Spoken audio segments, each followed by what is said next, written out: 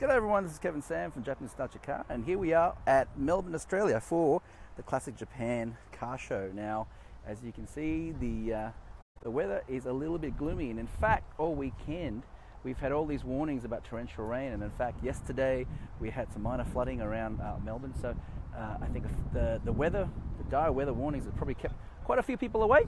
Uh, but nonetheless, we've actually got a really, really good turnout of cars today. Now, this is only just a part of the show. So we're going to do our best to do a little bit of a walk around and let you show, have a look at some of the, the cool cars that are here today. Now, this is of course a Japanese Nostalgic car, JNC Project Hakosuka, which you should be familiar with. And this is the Barrel Brothers uh, demo car Cedric, which um, you've probably seen in our feed quite a bit in the last few days. Now, next to that is an MS50 Crown Wagon, which um, has a pretty cool little feature in the back, and that this has actually got a third row of seats, but the seats are, uh, you can see that very well. The seats are actually sideways facing. So these are for the children in your family that you don't like so much. Um, moving right along, ooh, quite a few nice cars on the other side. Here we are. All right. Now, this is a Corona. Uh, now, in Australia, this was a this was available as an ADM model. This is a wagon, but this has got a little bit of a surprise under the hood in that this has got a 1J Z engine, twin turbo engine. So this is going to have a bit more of a sting in its tail uh, than the typical one. Now, haha, here we have an EFCRX. I was talking to Hassan at uh, Osaka JDM the last time we were in Japan, and he said that, well, even in Japan, the EF and the previous generation EA Civics are getting really, really hard to find. But for a lot of people of a certain age, um, they're really their favorite. And so that's, uh, that's, that's a little bit of a shame. Uh, so these are cars which are becoming quite sought after in good condition. Uh, but the, even in Japan, they're getting really, really hard to find. So this is really nice to see a good example. This is wrapped in like a matte pink, I think. Uh, example right here. This is available as a ADM Australian Australian available model uh, with the ZC twin cam. So we never got the B16A model, uh, which is a bit of a shame because uh, they were real rocket ships at the time. What else have we got? We got some crowns. We got some Corollas. KE Corollas, which are getting really, really sought after in, Japan, in Australia and very, very expensive because um, they can be turned into drifters very easily, kind of like a, a four-door version of an 86. Beautiful EF uh, Civic. And then we've got a GTR R32 rolling very nice and low on uh, onto BBS rims and a Kujira crown. Kujira being Japanese for whale. Yeah. This has got the, I think, 4M motor, twin SUs. Pretty cool car. Now, being the coupe, it's got uh, some interesting styling. So the the C pillar has got uh, that little bit of a feature emblem on it. It's got Venetian blinds. Yeah, very very different from the uh, much more glamorous than the Toyota sedans of the age. Now behind us we've got quite a few things. Mint Land Cruiser, FD, Celicas. And here we have a nice 240Z. This one here is an R32 drift car. Now this has got the GTR grille and bonnet, but it's actually a GTST Type M, I think. So it doesn't have the wide guards of the GTR. So this is a two-wheel drive, two-liter version. We're going to talk a little bit more about the R32 series because there are quite a few other ones here at the show which are quite cool. I want to go over. Um, beautiful drift style FC. It's got the RE Amemiya drift mirrors which are fed into the door. It's got a V mount. I don't know how much you can see that. So this is actually going to be a pretty neat weapon for circuit and drifting. And it just sits just right in this vintage Yokohama alloys, uh, AVS alloys. Now this is a Sprinter, Corolla Sprinter SL. Now this runs a pretty. I know I was talking to the owner a little bit earlier, and it runs a very very hotted up 5k.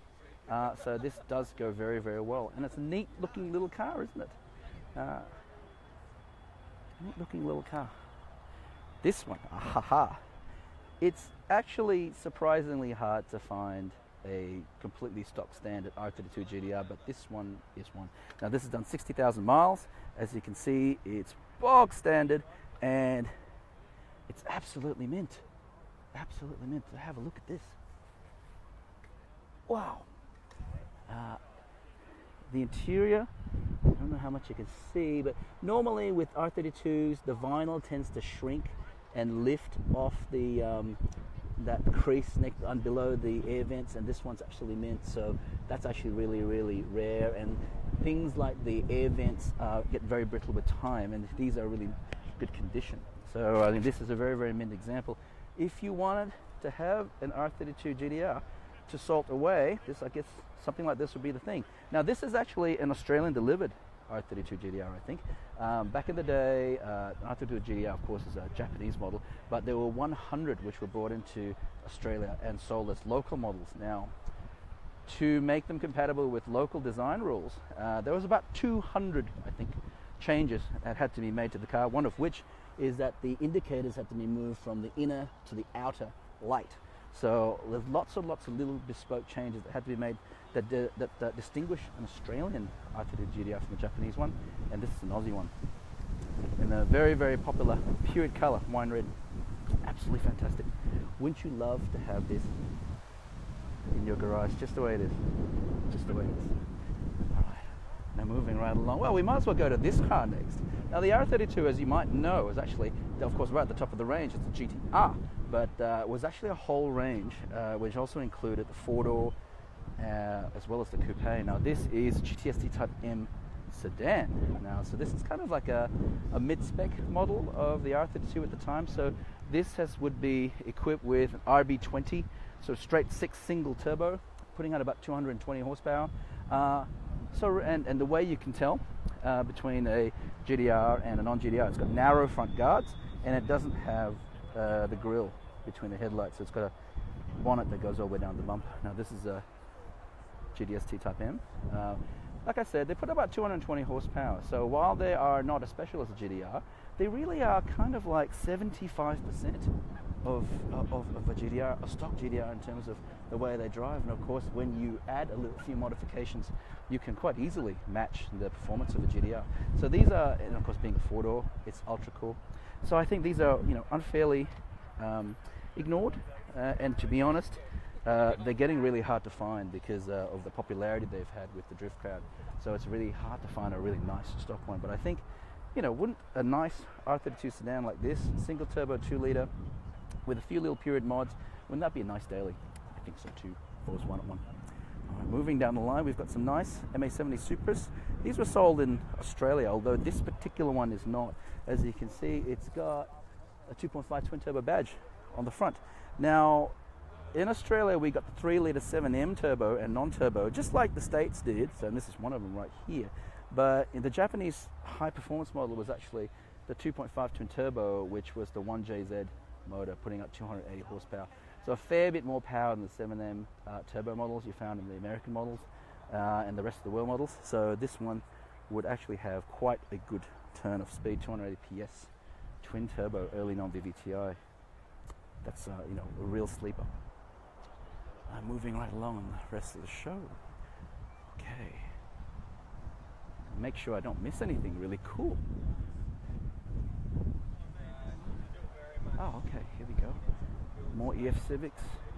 And here we have a really nice RX4, or as they would call them in Japan, uh, Luce Coupe. Luce Rotary Coupe.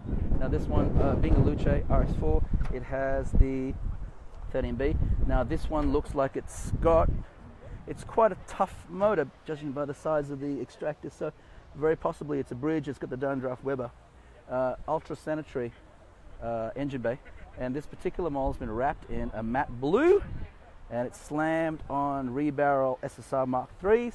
Now these wheels were made by Barrel Brothers, which are uh, a wheel restoration business in Sydney. Uh, and of course, we, we did a feature on those guys not that long ago. So if you have a look on the blog, you'll find it. Uh, this is a very, very mint Gazelle. Now, in Australia, we got the Celica, we got the Gazelle, but we didn't get the high performance JDM versions.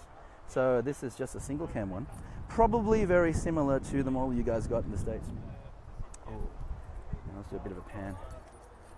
I forgot here. Okay. Now you're going to see quite a few of these Boxy R31 Skyline sedans today, and the reason why there's so many of them in Australia is because for a time during the 80s, the Skyline was manufactured in Australia as a family car, just a regular family car that anyone could afford, and it was the same price as a Toyota Camry or anything like that. Um, because in the 80s, uh, the Australian government was really trying to encourage more local production. So they managed to sweet talk Nissan into making a version of the Skyline here as a volume model. And this is it, this is the R31. So as a result, we've got quite a lot of these things still kicking around. They got huge amount of fans um, because of course they all sit under the halo of the, of the Japanese Skyline models. Now the difference between the Australian and the Japanese ones, the, the Australian ones have a single cam 3 litre RB motor, uh, putting out 114 kilowatts, about 160 horsepower thereabouts, and they have a solid rear axle. So very different to the Japanese models, which have an independent rear suspension and a turbo RB20 twin cam. But like these are so robust, and of course the RB20 and RB26 motors drops right in, and they make a really really good drift car. And so this is a very very common look uh, for Aussie drift cars, uh, and, and R31s are very popular for going sideways here as a result. Um, also, you can tell the difference between an Aussie one and uh, the Japanese. Most Japanese performance models are what's called a GT Passage, so they are a pillarless design where this has, has regular doors, frame doors. Okay, what else can we find here? Very, very nice. Z car, running a color matched. Injected L28, I think. Nice, nice. Uh, and we get to see some Supra, Isora. Now this is the V8 version that you guys would have got in the States as well. Um, but there were quite a lot of Soarers imported in Australia, even though they weren't available here as a as an official model. But uh, with the V8 being most popular, this is an Australian delivered 3 litre turbo. Okay, MA70 Supra. This is another uh, Australian delivered, uh, Australian made R31 Skyline. This one's called a TI. Uh, quite sought after because it had these cool uh, aero wheels and it's got a really plush velour interior. So for uh, connoisseurs of the R31, these are really, really quite sought after. Uh, right. Over here we have the back of Project Hakosuka and we traveled down today with a couple of my friends who have some really nice 510s.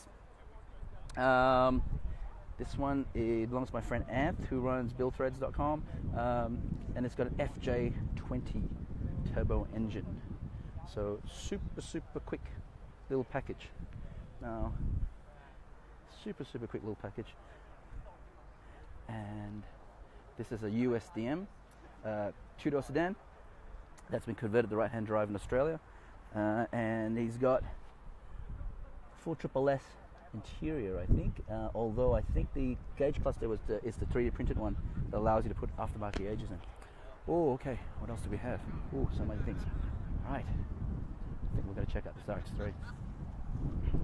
RX3s are getting really, really expensive in Australia. You can pay up to about eighty thousand dollars for a mint one, so so they're really very, very cherished and always have been. Um, they've always, the Aussie rotary scene has always been very vibrant, and so RX2s and RX3s have always had a really high market value. And this particular one has got a 13B turbo from uh, NFC, and not just any turbo. It's not standard because the turbo appears to be the size of a watermelon. So this would probably go extremely well. Now, um, old school rotors have always had quite a strong presence in Australian drag racing. So hence, it's part of the culture to re-engine them and uppower them quite a lot.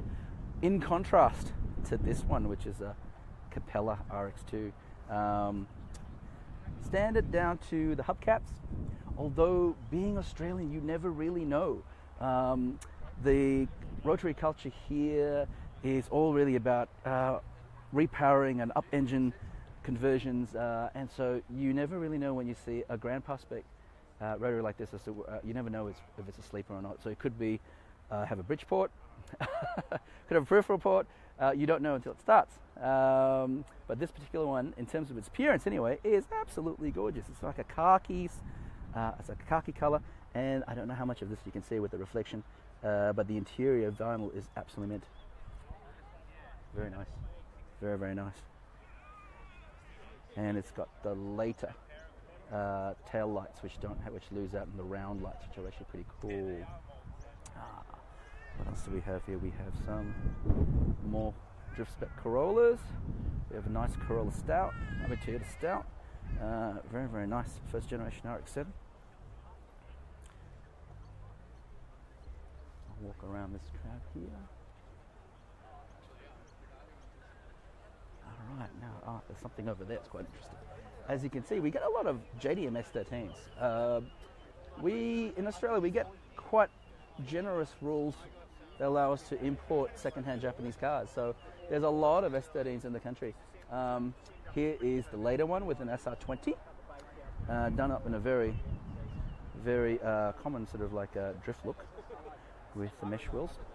And this is an early one with the CA18 engine.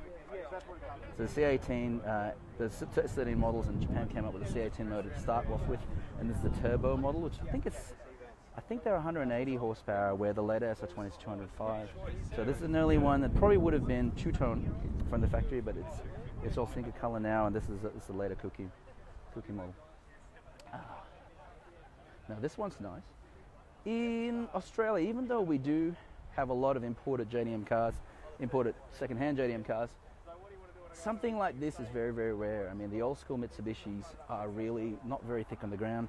And I do wonder why, because um, if you look at something like this, it's a, it's a 71 GTO MR, it's factory fitted with the over fenders, and it's got all kinds of cool detailing. It's got a nice deep front spoiler, it's got the uh, bonnet scoops, over fenders, and it's got like the bumblebee type, CUDA type stripes. Uh, so as far as performance car cred goes, I mean it's got everything. I mean these are powered by a 1600 twin cam, uh, 125 horsepower. So no uh, exactly the same spec as the Toyota compatriots and uh, same power output as the Isuzu twin cam. I don't know why these cars don't get more love. I mean they're certainly very very special in my eyes. Um, but as I said, extremely rare. All right, let's see what else can we do. I think Early Navara pickup. Uh, very, very lovely first generation Civic. And a Honda City. Haha. Now, Honda Cities, I don't think were available in the States. And I think they were available in Europe, Australia, not in the States. Now, this isn't, this is a very tiny little car. Not a K car, because they're 1300 cc. So they're a little bit bigger than the K car, somewhere between a K car size and a, um, and a Civic. and he's got the Victory Blast pipes. So you have to drive, have to have a sense of humor to drive something like this. yeah, I think uh, whoever owns this, we could probably get along. We could, we can be friends. I think we can, we could definitely be friends. All right, let's, let's keep walking. Let's keep walking. There's so much more to see, uh, and, and I really apologize to everyone if I walk past something that you consider to be really cool, and I don't actually spend any time on it, but but there's just so much stuff to cover. Uh, AW11, very very nice AW11 Super Edition. I think this means it's a JDM version. Let's have a look. Yes, yes it is. It's uh, the supercharged version. Now I think you guys got the supercharged version in the states too, but uh, in Europe and Australia we didn't. We only got the uh, normally aspirated 4 GE but this has got the supercharged intercool version. My brother had a really nice one of these um, because there's a Blitz supercharger pulley that you can fit, and that raises the boost to 13 psi. And uh, you know, with a Cusco LSD and a Spearco water intercooler, I mean, it was a beautiful package, a really lovely grunty package. It's a shame that the AW11s don't really seem to have get gotten as much love as the 86 because I think they're just as really just as cool, especially the supercharged versions. I really am very fond of them. Now, while we're on the subject of Toyotas, uh, hang on before we get to the Toyotas. It's a 929 here. In Japan, it would have called Cosmo, but been available with a 12A turbo, but this is definitely not a 12A turbo. It's a Lexus V8 very unusual power plant for a Mazda coupe of the era. And as you can see, it's an absolute sleeper. So this would be something worth keeping an eye on. Excuse me, gentlemen. And uh, this is another rarity. Subaru first generation, Subaru Leone four-wheel drive. Now it's been years since I've seen something like this. Absolute years. How long has it been since you've seen the first generation four-wheel drive? um, Leone. Let's, spend a little bit more time looking through it. Definitely owned by enthusiast. He still has the logbooks, and the interior is pretty mint. Wow, what a cool car! I could so totally rock this. As a daily, or every other daily. Now, there's a really nice car over here that I want to show you, and we better cover it before I forget, or before someone puts down the bonnet. Now, here's a, a Celica TA22 GT. So this is a JDM model that's only just arrived in Australia like about a month ago, and it is absolute perfection. I mean, look at that. It's mint hubcaps, and it's got the, the, the factory screw-on uh, chrome uh, stainless trims. Uh, the interior is to die for. And have a look at the engine bay. So this is the JDM GT version, which means it's a 2TG twin cam, 115 horsepower motor. It's got the twin Solexes, and yes, the bunch of bananas uh, extractors are actually standard. So have a look through this engine bay. This is so totally nice. It's so nice to hear that you can still find cars like this in Japan.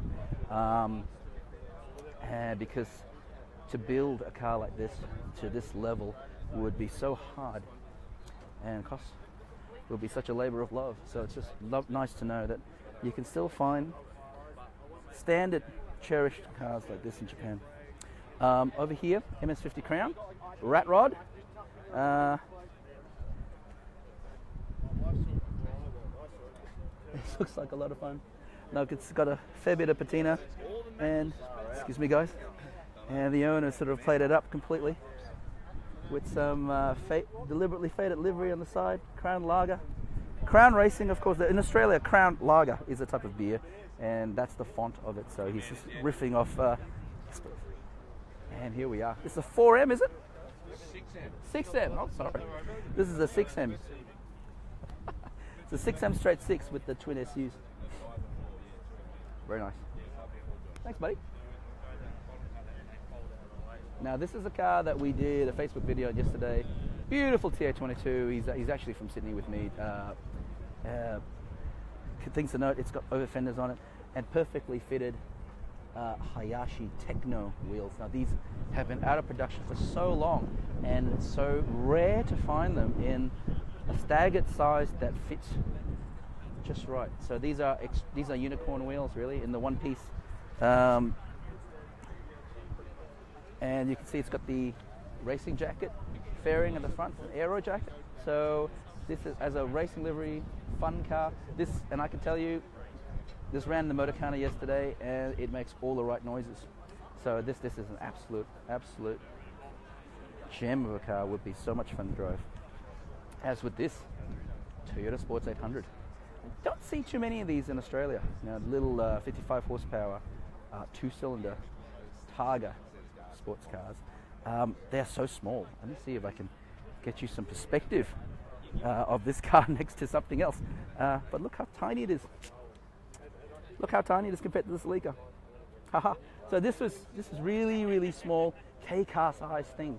Uh, but you know, they can, even though it's such an important part of Toyota's history and heritage, I mean, you can still pick these up relatively affordably. I don't know why more people don't. They look like a lot of fun. All right, over here we have a cappuccino.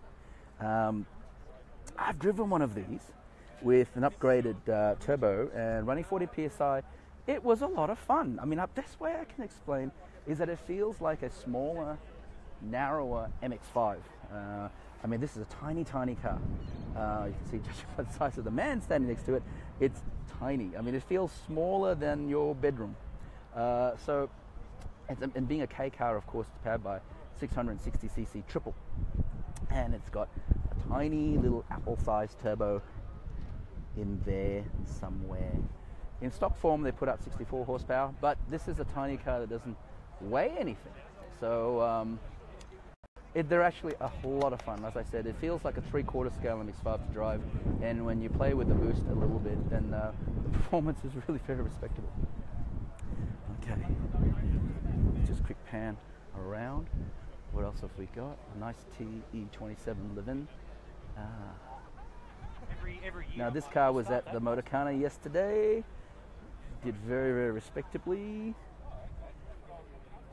Is that a 2TG? Yes, 2TG. with some uh. Yeah, 2TG with some minor mods. Now, notice it's got a Remora uh, Sanyo air intake, which is got. Oh gosh, what's that? Something a surprise inside. Can you tell me something about what what we're looking at here? Yeah, it's fuel injected. It's fuel injected. Oh my god. Yeah. Still So keeping the carbies as the throttle bodies, but yeah. put fuel injector up before the throttle bodies. Right, right, right. Okay, well, first, this is full of surprises, guys. Now, first is a remote, there's a vintage Remora Sanyo air intake. So this would, in back in the day, have replaced the restrictive airbox that uh, the 2TG Toyota would have come with, with a more free-flowing one. Normally, that would be like a, a round pancake filter there. But, but, but, the own, the very, very enterprising owner has uh, converted the. Oh yeah, here we go. That's what it looks like.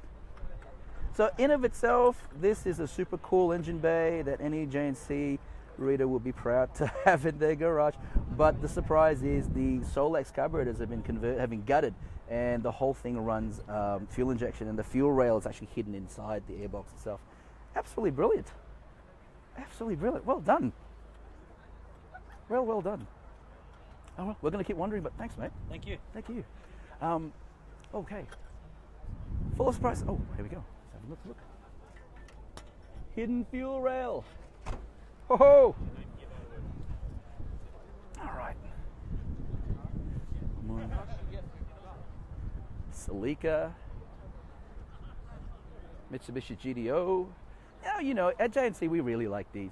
Um, there's going to be a few other ones uh, that we're going to have a closer look at in the other part of the show, but you know, we really do like these GTOs. You know, I mean, uh, a lot. I think we they really get a bit of a bad rap uh, from enthusiasts. I think because they, they weren't as sharp or sporting or powerful as a uh, as a GTR or a GTO or, or as sharp handling as an FD. But you know, you something like an FD you would compare to a Porsche 911. Um, something like a GTO you'd compare to a Porsche 928, and as a long distance, or a Mercedes SL, uh, and as a long distance, a comfy cruising car uh, with a bit of power and a bit of handling.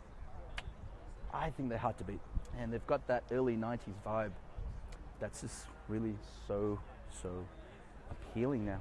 R32 GTR, haha. Let's move on. Let's move on. Let's move on. A86. Yes. All you 86 otaku, you're gonna kill me if I don't focus on some A86s. Beautiful Trueno. Uh, running on brand new work equips.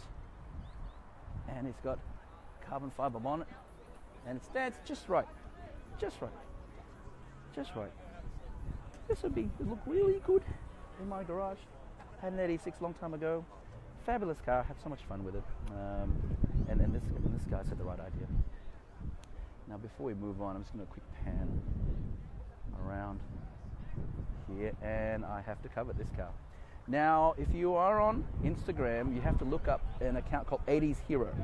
That's 80s Hero on uh, Instagram, and uh, like the name says, he searches out all kinds of 80s memorabilia.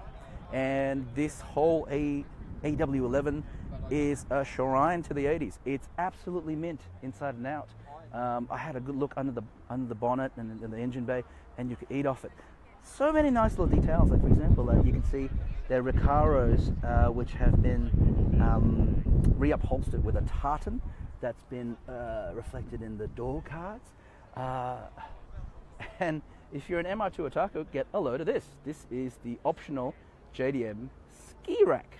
These are so unbelievably rare, unicorn stuff, but uh, it's the JDM ski rack uh, for people back in the day who went skiing in their two-seat roadsters. I'm um, a two-seat uh, sports car. Uh, pure correct with the with the aero wheels. So nice. Uh, moving along. This is a JB stereo, uh, showing a little bit of patina.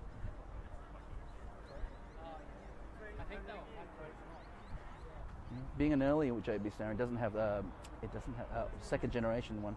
Doesn't have the bonnet scoop. Uh, it doesn't have the flares of the Amer- later American and um, Australian ones, uh, American and Japanese ones.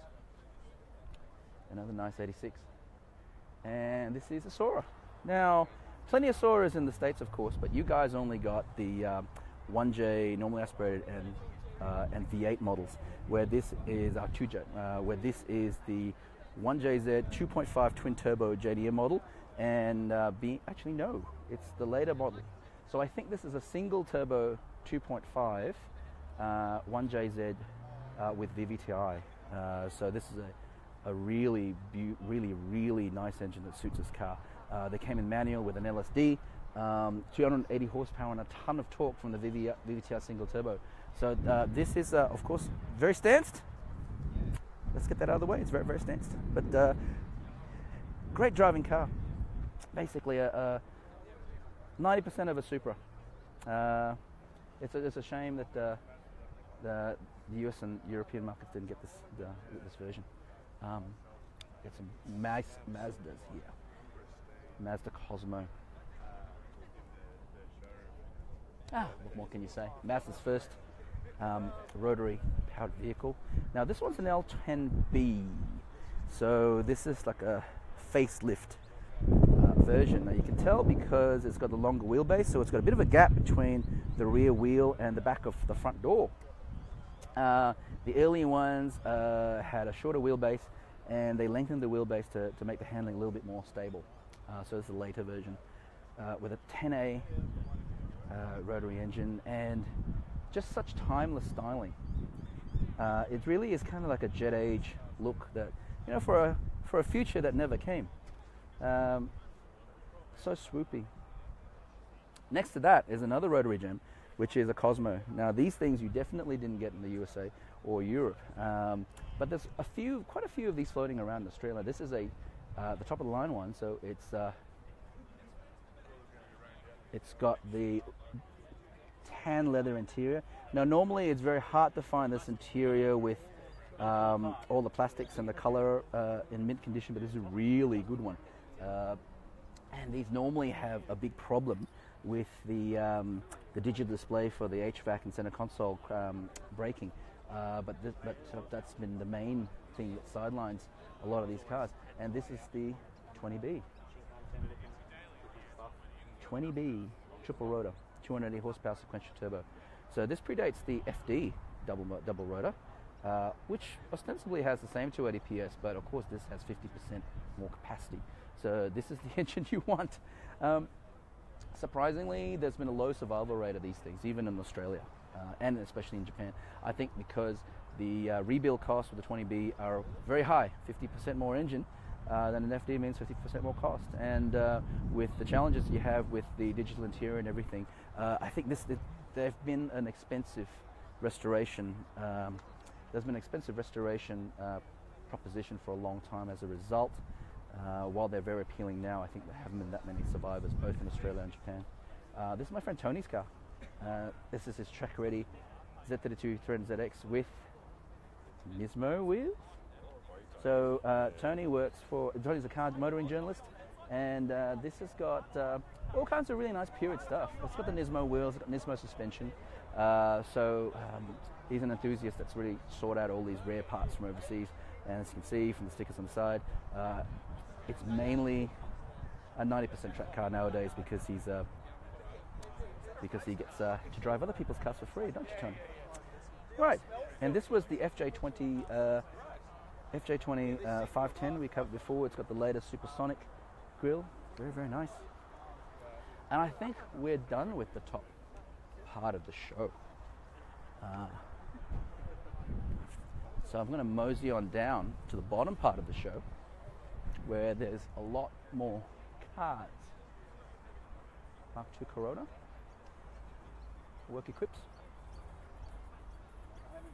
So nice that work still makes these uh, nostalgic wheels. Now, the Classic Japan Car Show is brought to you by Toyota Car Club of Australia Victorian branch. So there's always some really, really nice Toyotas here. Uh, these are some nice 2000 GT liftbacks, R28s with the longer nose, I think. Very, very nice. Now, this particular one is got. Is this an 18RG? sorry. Is the motor an 18RG? Yeah, it is. Ah, yeah. So this is the 1800 uh, twin cam 18RG motor. Not the 2T TG of uh, 1600 we saw a few other cars. Got lovely twin Mikunis. Just a beautiful example. Here's a GTR R32. Nice. We have some little vans. Another Celica.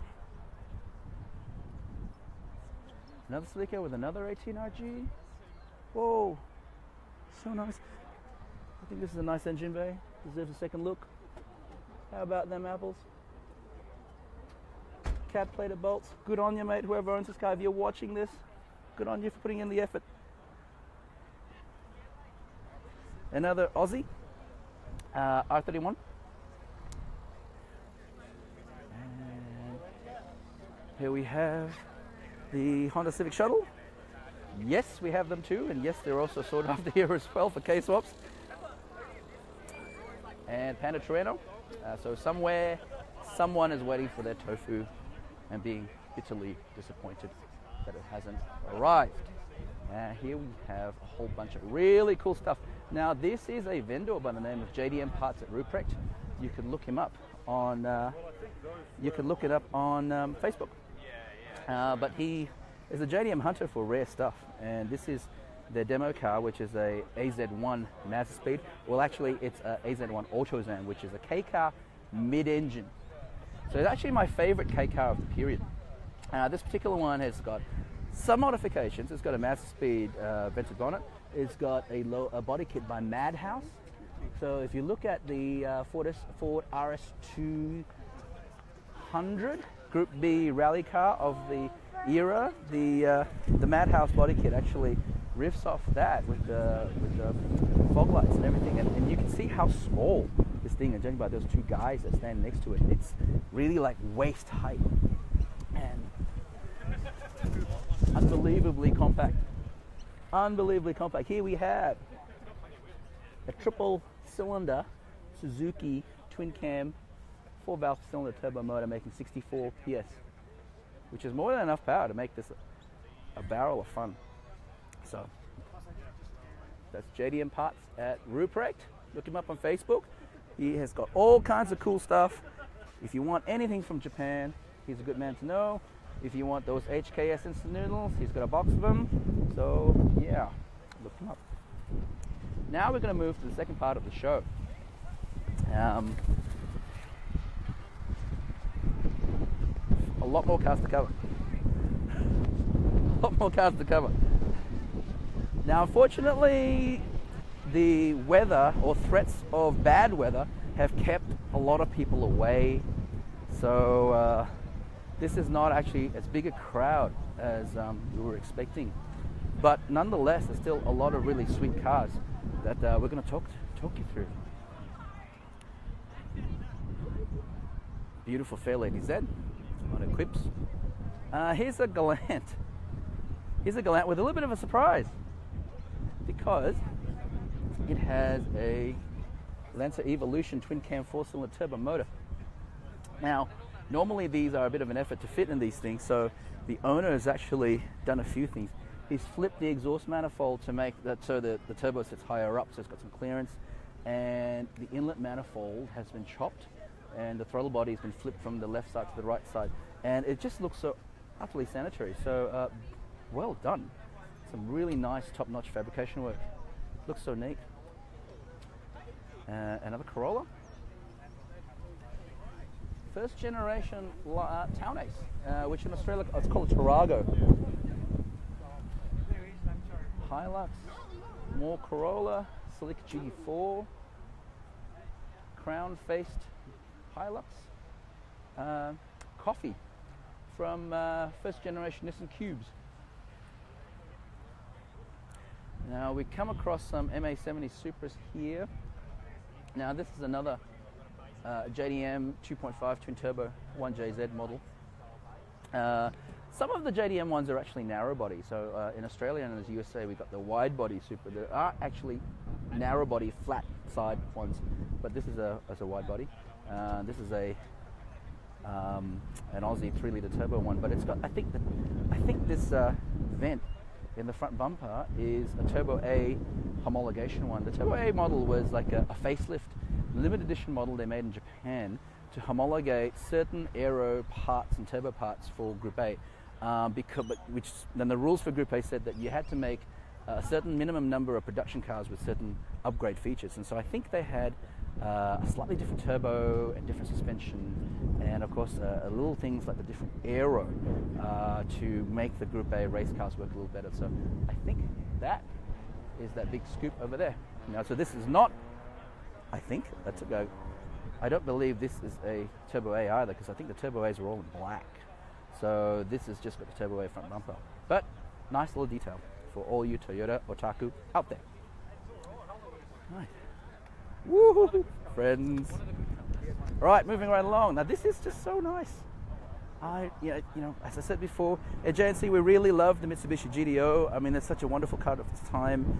Um, the later model, of course, uh, is maybe mechanically a little bit more desirable because the later model has got the um, six-speed gearbox, uh, and it was a little bit lighter with all the active aero taken out.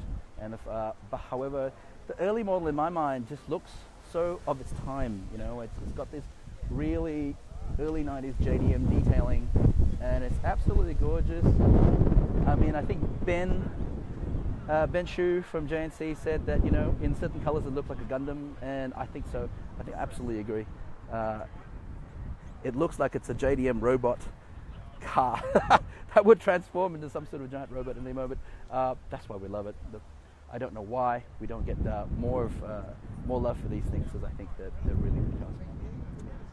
Now this is a Nissan President. Now you might not know what this is. I mean, everybody knows what a Toyota Century is, but since the early 70s, I think maybe 1970, uh, Nissan has had its version of uh, a big limo for uh, CEOs and you know senior government officials to uh, as a rival for the Century, and this Nissan President. Uh, it's definitely a little bit more American, dare I say, in its styling, and then the Toyota Century, it's a lot more squared off. Um, definitely very kind of mid 70s Chevy look, doesn't it? Uh, but it has got a 4 litre V8, I believe. Uh, it's like a Hemi head small V8, only putting out about 160 horsepower because these things aren't really about high performance. They're really about wafting your boss between meetings in the most comfort possible. And inside, it's got the most insane thick velour interior. Um, and there's one little feature, I don't know if I, the camera's going to show it very well, but um, the front seat, can you see it? It's got like a hole in it. Uh, what it is, is um, the back, a portion of the backrest folds down. Uh, and so the CEO uh, lounging in the back seat can actually stick their feet out onto the front seat and stretch out. Um, it's got a tape deck player in the uh, center console, and it's got a stereo in the center console. Uh, so this is absolute 70s JDM VIP excess as it existed in time. Um, it's as you can see on the side of the center armrest, it's got uh, electric controls for the um, for the back seat. So the back seat actually adjusts. You can actually recline it and slide it forward. So it's a, you know kind of like a like a business class airline seat, all in an early 70s V8 package. Why don't more people get into these? I don't know. I don't really know. I mean, these are a cool little package. Uh, this is a GT.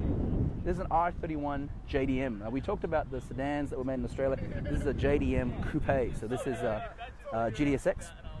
Uh, it's got the GT auto spoiler, which everyone goes crazy over. The spoiler, the, the spoiler actually flips up and down. And these were powered by uh, an early RB20 twin cam single turbo, putting out 180 horsepower. So compared to the DR30 before, which is more of a sporting lightweight model, uh, these were more of a gadget-laden, heavier, uh, luxury personal car for the mid 80s. Uh, they're a little bit softer, a little bit understeer, so not sporting as, as, maybe a DR30. But of course, in the racing model, the GTS-R uh, was actually extremely successful in this day. Ah, what else can we show?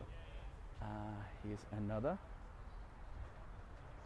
JDM coupe, and you can see that it's got an RB20 because it says all that stuff down the side. HICAS, of course, being the four-wheel steering.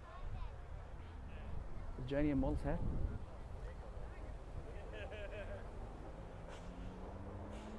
Now this white car is, um, of course, it's an Australian deli- uh, Australian-made uh, Skyline sedan. But back in the day, uh, Nissan Australia actually had a performance division called SVD, Special Vehicles Division, and they made uh, a certain limited number of sporting uh, Skylines. These are all based, of course, on the Australian delivered. Um, Australian made Skyline sedans. And these had uh, Nismo cams, uh, these had a different ECU, these had extractors, and they made a lot more power. So instead of 100 and, um, instead of 114 kilowatts, these had more like 141. Uh, and they had Nismo suspension and an LSD. So these are really, really nice, very, very drivable uh, performance car of its time. Actually, uh, having driven these on track compared to the JDM Turbo coupes, I actually prefer these. Uh, these are, have a much better balance than the um, than the uh, Japanese models, which the with, with the rear wheel steered HICAS. Uh, so I find the uh, uh, the torque and the response, the handling balance of the Aussie SVD cars were probably the high point of the R31 series. Here we have a Nissan Cedric, which I think this is an Australian 300C. That's right. And here we have a Nissan Prince GT. I mean, not a Nissan Prince GT, but a Prince GT. Now, Prince was kind of like a Lexus in its day. Uh, it was a premium car maker, but unfortunately, by the mid 60s, they were kind of broke. Uh, so Nissan took them over, and from 1968 onwards, the Skyline became badged as a Nissan. Now, what is this? This is the mid-size car, family car called the Prince Skyline GT. Now, this has got a two-liter straight six, running triple Webers. Uh, this was putting out, I think, 125 horsepower in the early 60s, and this was a proper thing, a homologation special, 100-liter fuel tank, uh, LSD, FIA certified, the whole nine yards. Now, unfortunately, uh, while Prince was great at making performance cars, uh, they weren't so great at making money, so they went broke and Nissan bought them over. But this is really the first Japanese high performance car. So this is a 1964 onwards model. Um, back when uh, Japanese sports cars like the S800 or uh, Toyota or the Honda S600 and 800 were only making about 60 horsepower, this was a performance car with 125 horsepower. Uh, so this was really the beginning of hot rod sports sedans in Japan in its uh, and it's a tradition that went on for a very very long time. So this is the beginning of the whole Skyline performance legend. It really is. Um, and being a Prince, uh, there's also some really cool touches. They were really they really lost money on every car they made, so uh, the cars were a bit better than what they were sold for. Just gorgeous. Now, the thing about a Prince GT is that this came out with a 1500cc four cylinder. Now, the six cylinder, as you can see in this car, barely fits. Now, what they had to do uh, was they had to lengthen the, the four cylinder chassis. So you can see there's actually quite a big gap between the door and the, and the front fender well uh, because they added eight inches to the uh, nose of the car to fit the six cylinder. Now, in the early cars, uh, you can actually see there's a welded in panel uh, behind that heater hose that's about 8 inches long. This is a later car where it's actually one piece. But super, super important um, high point in Japanese motoring history. Uh, are, and they're really, it's really cool that they're starting to become more recognized and sought after. What else do we have? Now, uh, I apologize if my battery dies out because I think I'm down to 10%. So if this live feed suddenly stops, I'm sorry. Let me see. I might have to call a day and recharge it. And I tell you what, that's exactly what I'm going to do. Just so that we don't lose everything, I'm going to call it a day at this point. Stick my stick my phone on charge, and I'm going to do part two video shortly. So part two is the rest of the car show. Uh, so give me a couple of hours to get some charge to my battery, and uh, we'll pick up where we left off.